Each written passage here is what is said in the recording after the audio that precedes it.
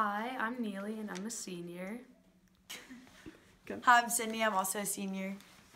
Hi, I'm Amanda and I'm a senior. Hi, I'm Katie. I'm a senior. Hi, I'm Haley. I'm a senior. Okay. Hi, I'm Maddie. I'm a senior. Hi, I'm Carolyn and I'm also a senior and we were asked to make a video about Ursuline's voices, values, and visions. Coming into Ursuline, there's so many opportunities to get involved, which really encourages you to use your voice to pick the specific areas that you feel passionate about and really speak to those and become involved, use your voice to do exactly what you want to do. One way I felt um, the value of Ursuline is with teachers. I remember sitting in a hallway one day and a teacher came and just sat down next to me and was talking to me about a quiz that I took and it just really showed how she valued me as a student and I valued her taking the time out of her day to come talk to me. Really important value for me is campus ministry in my life, my religious life at Ursuline. Um, this is now my seventh retreat that I've been on, and I've helped just do so many different things, and I love working with Smudge and all the people out here.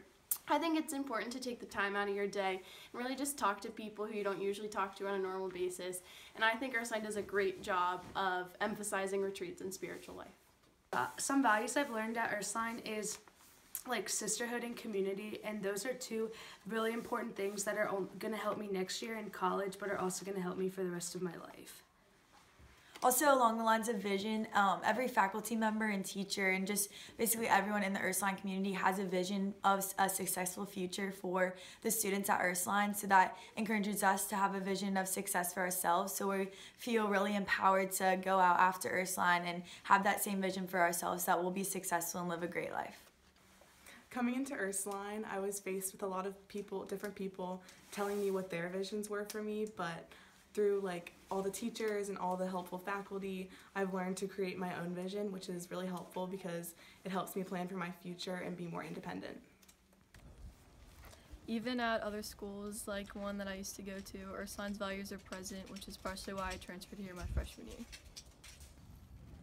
I think Ursuline has helped me not only cultivate my own vision for what I can become, but for what the world around me and my community can become when I contribute what I've learned from Ursuline and um, the values and the voice that Ursuline gave me.